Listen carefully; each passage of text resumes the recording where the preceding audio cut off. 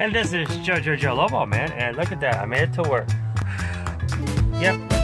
So actually, the story was a really good friend of mine is uh, cars in the shop, so he needs to borrow a vehicle just temporarily till till he gets his fixed. So hopefully pretty soon. It's supposed to drop really cold next couple days.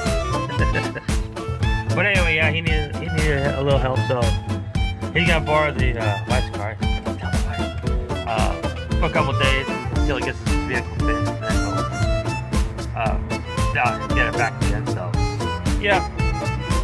So, uh, um, I guess Handyman Jose and uh, Jerry might freeze a little bit, but you know, we have to be kind to one you know.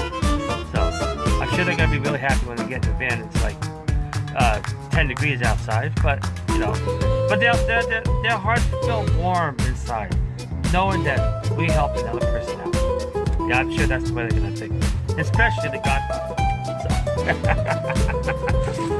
But anyway, I'm at work, so you know, I'll, uh, I'll head on out. So, but this is Jojo Joe Lobo, man, and uh, you guys have a good day at work now. And always be kind to one. Bye.